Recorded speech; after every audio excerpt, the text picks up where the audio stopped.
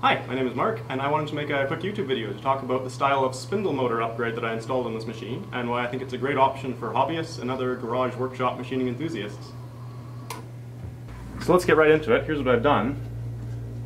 I've got an approximately 1.5 kilowatt brushless DC motor here, and it's mounted in this aluminum cradle, which holds it relative to the casting of the lathe itself. I want to interject a further comment here about the design of this aluminum cradle. These four colored fasteners, in addition with the four on the opposite side of the lathe, hold the cradle securely against the casting. They also allow for adjustable leveling of the cradle, which is critical to ensure proper alignment of the drive belt. Once leveling is dialed in, the belt will track perfectly in both forwards and reverse. So how is the motor mounted, and how is the pulley supported? So this motor is a piece of scrap that was given to me, and it came with a particularly long shaft. The shaft extends from the tip of the motor here all the way out past the encoder here. So on the back side, the motor is supported by this block, which clamps it. I've custom machined a few parts here. And the drive pulley is mounted midway on the shaft that extends out past the end of the motor. Uh, the very tip of the shaft is supported by a bearing, which is embedded in this block, and the encoder is mounted onto the very end with a press fit collet. And now seems like an appropriate time to drop in some machining B-roll footage. This component is the round standoff that actually fastens to the motor and is clamped by the aluminum cradle. This part required some pretty tight tolerances, especially the location of the three fastener clearance holes. Here's the finishing pass, performed as a single contour at full depth.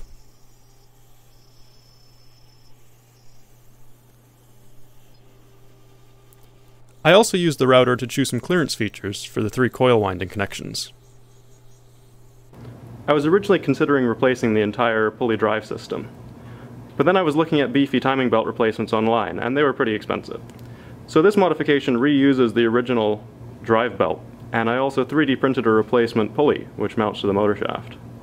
For those who care, this is a 4040 brushless motor with 14 poles and 400 kV. I would have liked to have used one of the classic Turnigy SK3 192 kV motors, but those are very expensive, and this one was free. I'm using a 350 watt 48 volt power supply to power the entire system. This probably leaves some performance headroom on the table, because this motor is rated at about 1.5 kilowatts. But let's be real, this machine is never going to be achieving a material removal rate anywhere close to requiring 1500 watts of power. So what sets this apart from many other similar modifications online is the style of motor driver that I chose to use. I opted to go for an ODrive S1 instead of a VESC, as many other people online use.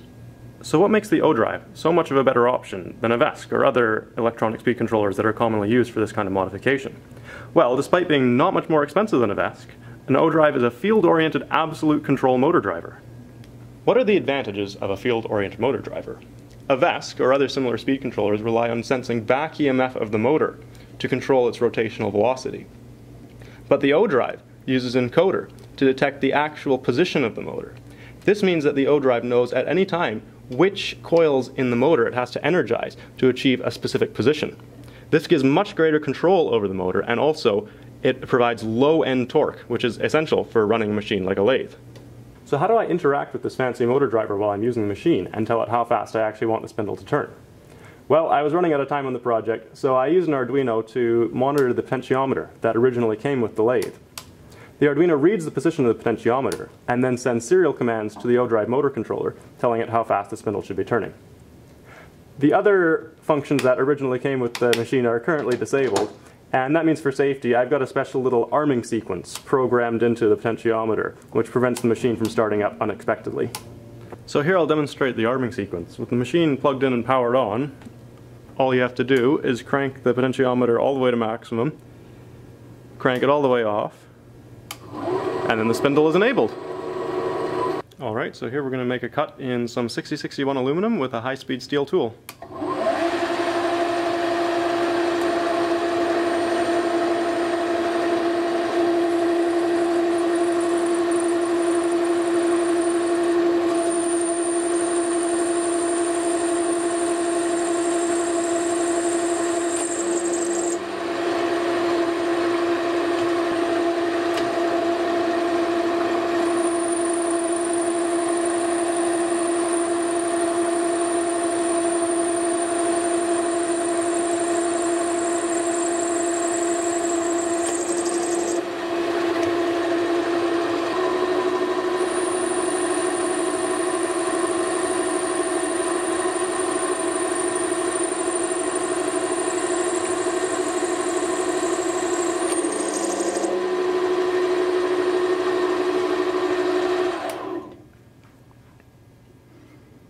Great surface finish. The tapered spindle roller bearings are a terrific upgrade as well.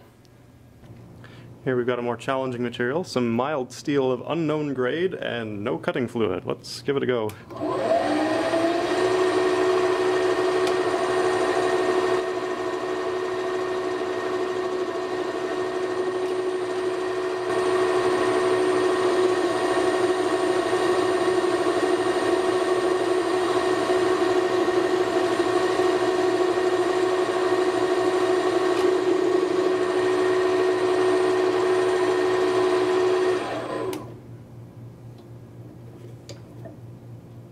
That's a pretty serviceable result. I want to say a few more words about this machine. The tapered roller bearings in the spindle headstock are a requirement if you want to get decent quality cuts. I've also heard many people recommend bolting this machine down to a bench, but the problem with that is it's no longer mobile. I have been having a great time using this machine on this custom steel frame that I welded for it. It adds a lot of mass and rigidity to the machine, but I haven't sacrificed the ability to move this around the workshop if required. Having used this modification for about a year now, I've been very happy with the performance of the machine. I can wholeheartedly recommend that people use a similar approach to modify their own lathes. Using an ODrive motor controller and a powerful brushless DC motor is, in my opinion, the best possible upgrade for a hobby-grade lathe like this. Because I completed this modification using scrap components that were given to me for free, it may be difficult to exactly replicate this modification. However, all the CAD and the code that I used to complete this project are going to be available on my GrabCAD and GitHub. I hope that this video can be useful for others who are also considering modifying their spindle motor drives, and I hope that this video spurs on further innovation. Thanks for watching!